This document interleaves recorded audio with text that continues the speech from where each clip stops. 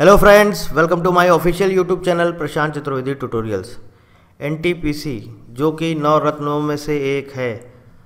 एक बहुत ही अच्छी गवर्नमेंट ऑर्गेनाइजेशन है नेशनल थर्मल पावर कॉरपोरेशन इसमें डिप्लोमा होल्डर्स आईटीआई और बीएससी केमिस्ट्री या फिर ग्रेजुएशन की डिग्री आपके पास अप्लाइड केमिस्ट्री में या फिर इंडस्ट्रियल में आपके लिए एक बहुत अच्छी अपॉर्चुनिटी आई है।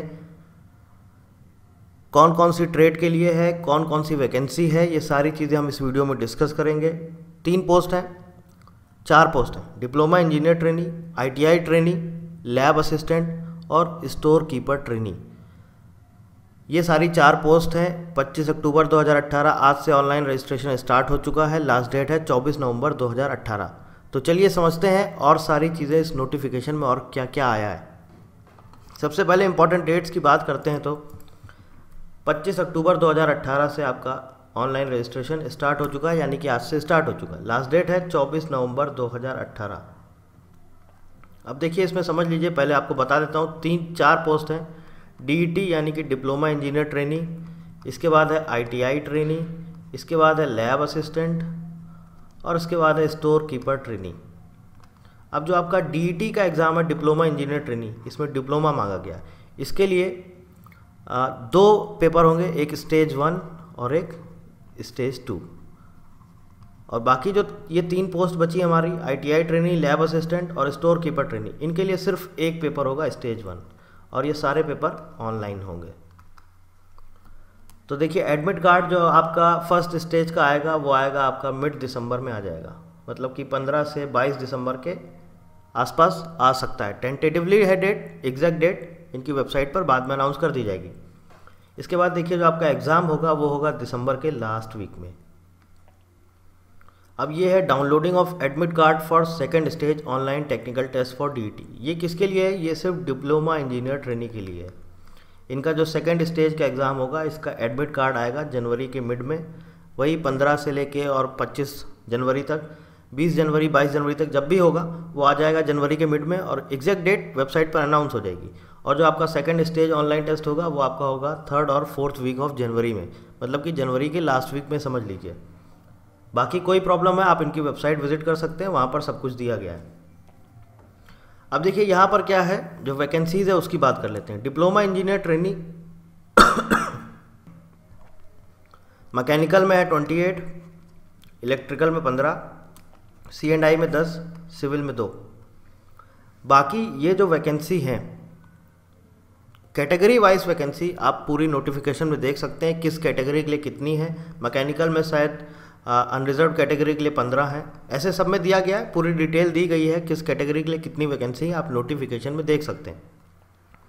इसके बाद है ITI trainee oblique lab assistant chemistry trainee assistant materials store keeper trainee यहाँ पर देखिए ITI fitter 22 vacancy ITI electrician 12 vacancy ITI instrument 8 vacancy lab assistant chemistry 6 vacancy assistant material oblique store keeper, चार vacancy.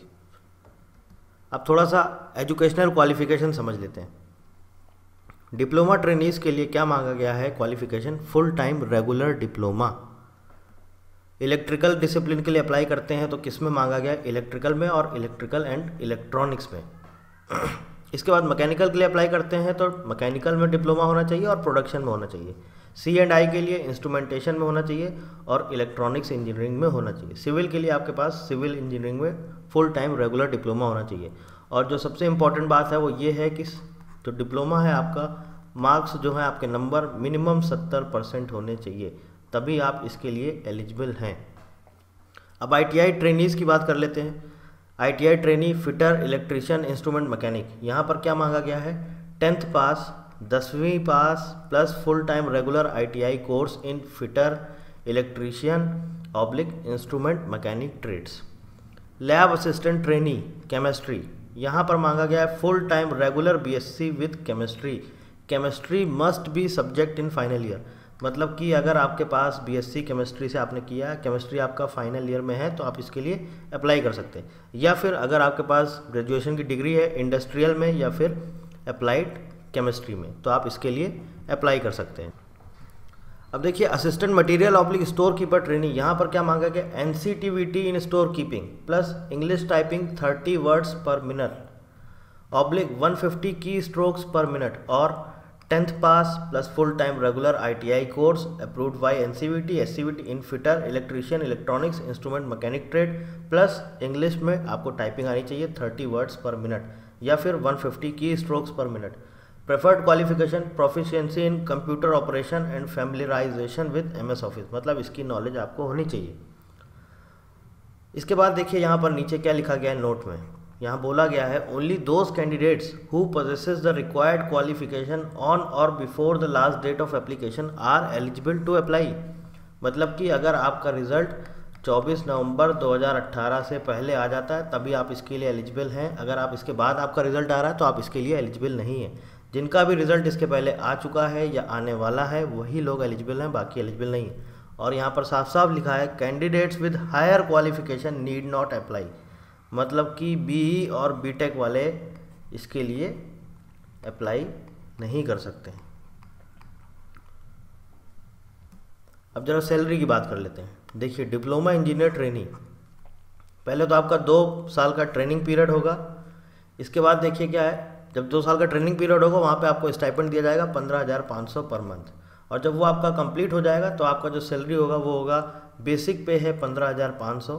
तीन percent per annum का आपका increment है, और ये लास्ट बेसिक पे होता है। ये एंट्री पे है पंद्रह हज़ार पाँच सौ।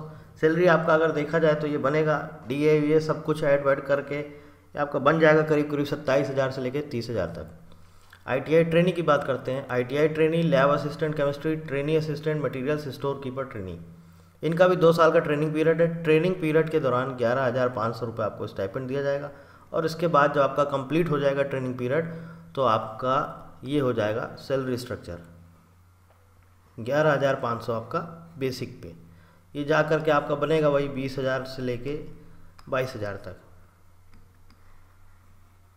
अभी, लेकिन एग्जैक्ट अमाउंट नहीं बता सकते कि एग्जैक्ट कितना सैलरी होगा बिकॉज़ बहुत सारे अलाउंसेस ऐड किए जाते हैं।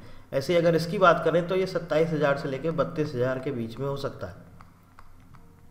अब बाकी कौन कौन से अलाउंसेस दिए जाते हैं कौन कौन से नहीं दिए जाते हैं सारी चीज़ें इस पर डिपेंड करती हैं। एज की बात कर लेते हैं डिप्लोमा इंजीनियर ट्रेनिज के लिए मैक्सिमम एज है 25 साल। और मिनिमम एज है 18 साल। और कब बोला गया? Age on last date of application मतलब कि चौबीस नवंबर 2018 तक।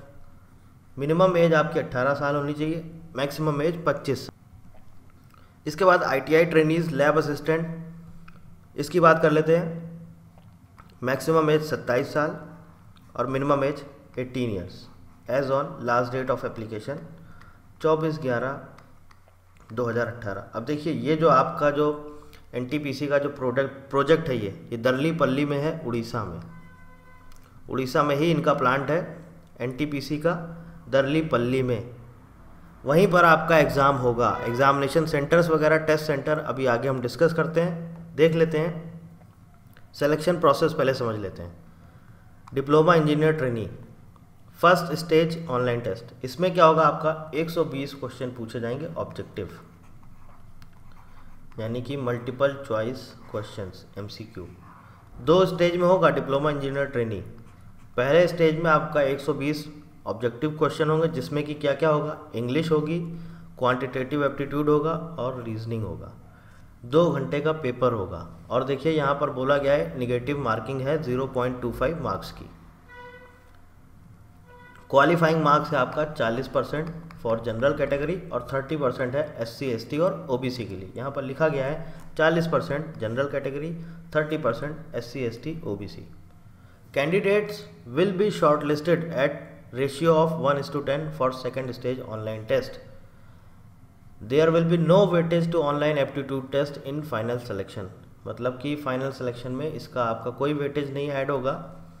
और जो कैंडिडेट शॉर्टलिस्ट किए जाएँगे, वो इस रेशियो में किए जाएँगे। मतलब कि जितनी वैकेंसीज है, उसका टेन टाइम्स सेकेंड स्टेज के लिए शॉर्टलिस्ट किए जाएँगे। सेकेंड स्टेज में देखिए क्या है? ऑनलाइन टेक्निकल टेस्ट होगा 120 क्वेश्चन होंगे ऑब्जेक्टिव। लेकिन ये जो होगा, ये क्या होगा आपका? ये पूरी तरह से टेक्निकल होगा। बोला गया है, online technical test in respective discipline will be conducted. Duration of test will be two hours. ये भी दो घंटे का होगा और ये भी आपका दो घंटे का है।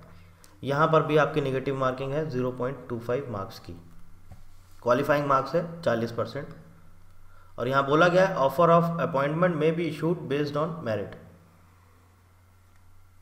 अब I T I trainee lab assistant chemistry trainee lab assistant trainee assistant trainee materials oblique store keeper इनकी बात कर लेते हैं। सिर्फ़ एक टेस्ट होगा ऑनलाइन टेस्ट 120 क्वेश्चन होंगे।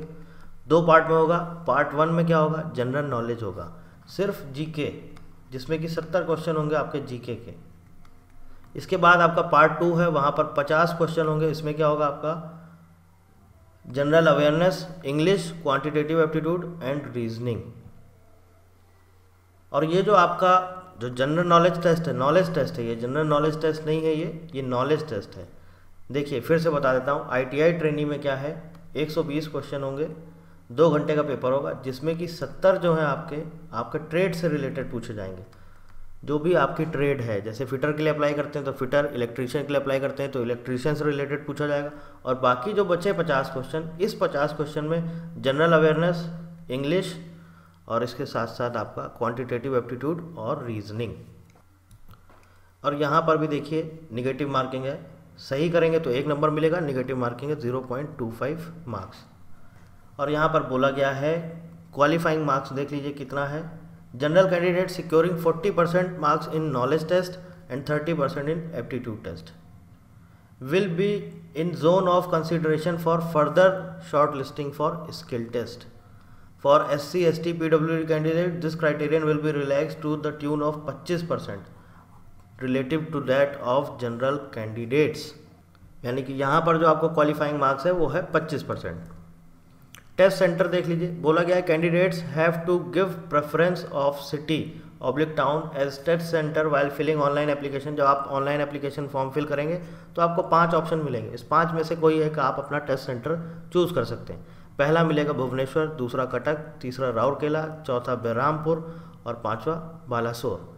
एक बार सेलेक्ट कर लेंगे, दोबारा चेंज नहीं कर सकते। और एक और चीज़ है, सिर्फ़ और सिर्फ़ एक ही पोस्ट के लिए अप्लाई कर सकते हैं।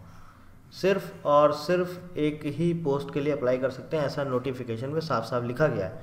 अब यहाँ पर एग्रीमेंट भी है। जो डिप्लोमा इंजीनियर ट्रेनिंग है, इनके लिए एक लाख रुपए का एग्रीमेंट बॉन्ड है। अब ऐसा नहीं कि आपको एक लाख रुपए जमा करने ऐसा नहीं होता है। ये होता है कि आपको बोल दिया जाएगा, कितना बोला गया है? To serve the company for minimum period of three years training complete होने के बाद आपको तीन साल तक यहाँ पर जॉब करनी होगी। अगर आप नहीं करते हैं तो आपको ये एक लाख रुपए आपको एनटीपीसी को देने पड़ेंगे। किसके लिए है ये? जनरल कैंडिडेट और ओबीसी के लिए। S C S T P W D के लिए है पचास हज़ार। ये है एस सी एस टी और पी डब्ल्यू डी के लिए। इनके लिए कितना है? पचास हज़ार। जनरल कैटेगरी के लिए एक लाख। अब आईटीआई ट्रेनिंग और लैब असिस्टेंट की बात कर लेते हैं। इसमें कितना है? इसमें जो आपका एग्रीमेंट जो बॉन्ड है, ये है पचास हज़ार रुपये का। और जनरल और ओबीसी के लिए एस सी और पीडब्ल्यूडी के लिए पच्चीस हज़ार रुपये का। और बोला गया है कि minimum three years after completion of training मतलब कि ट्रेनिंग कंप्लीट होने के बाद तीन साल तक आपको यहाँ पर जॉब करनी ही करनी नहीं करते हैं तो आपको ये अमाउंट पचास हज़ार जनरल कैटेगरी ओबीसी वालों को देना होगा और पच्चीस हज़ार आपको एस सी एस टी और पी डब्ल्यू डी कैंडिडेट को देना होगा। इसके बाद यहाँ पर देखिए बोला गया है आपका मेडिकल टेस्ट भी होगा। Candidate should have sound health before joining candidate will have to undergo medical examination अब यहाँ पर देख लीजिए कैसे अप्लाई करना है। ऑनलाइन आपको अप्लाई करना है एनटीपीसी की वेबसाइट पर जाकर। पहले आपको क्या करना है? पहले आपको जाना है स्टेट बैंक ऑफ़ इंडिया यहाँ से आपको क्या करना है? यहाँ से आपको एक चालान फॉर्म आपको मिलेगा। आप इनकी वेबसाइट एनटीपीसी से चालान फॉर्म डाउनलोड कर सकते हैं। चालान फॉर्म डाउनलोड करने के बाद आपको जा के वहाँ पर स्टेट बैंक ऑफ़ इंडिया में आपको अपना चालान जमा करना होगा। जनरल कैंडिडेट्स के लिए और ओबीसी कैंडिडेट्स के लिए तीन सौ रुपये फ़ीस है। S C S T P W D ex serviceman इनके सब के लिए किसी के लिए कोई फ़ीस नहीं है। जनरल कैंडिडेट ओबीसी कैटेगरी के लिए तीन सौ जनरल कैटेगरी और ओबीसी कैटेगरी के लिए 300 बाकी किसी के लिए कोई फ़ीस नहीं है। चलान आपको जमा करना है, ये आपको अकाउंट नंबर दिया गया है, चलान फॉर्म वगैरह इनकी वेबसाइट पर अवेलेबल है, ये सारी चीज़ें आपको वहाँ पर भरनी होगी। जब आप भरने के बाद पैसे जमा करेंगे तो आपको बैंक एक जर्नल नम जर्नल नंबर देगा और इसके साथ साथ आपको उस, जहाँ पे आपने जमा किया है, वहाँ का ब्रांच कोड देगा। ब्रांच कोड आप सभी को इंटरनेट पर मिल जाता है। नहीं अगर उन्होंने दिया है तो आप इंटरनेट पर सर्च कर सकते हैं, इस बैंक का ब्रांच कोड क्या है। नहीं तो जब आप वहाँ पर चलान जमा करें तो उनसे पूछ सकते हैं कि हमको इसमें ब्रांच कोड भी लिख के दे दीजिए। तो ये सारी चीज़ें तो आप मिल जाएँगी, इसके बाद आप ऑनलाइन अप्लाई करेंगे। वहाँ पर आपसे ये पूछेगा जनरल नंबर, तब आपको वहाँ पर ये जनरल नंबर फिल करना होगा। Fees once paid will not be refunded under any circumstances. तो ये है पूरा हमारा इस नोटिफिकेशन के बारे में जो कुछ भी इन्फॉर्मेशन थी मैंने आपको बता दी है। अगर कोई और क्वेरी है, कुछ पूछना चाहते हैं तो आप कमेंट करके बिल्कुल पूछ सकते हैं। नोटिफिकेशन का लिंक ऑनलाइन एप्लीकेशन का लिंक मैंने आपको डिस्क्रिप्शन में दे दिया है।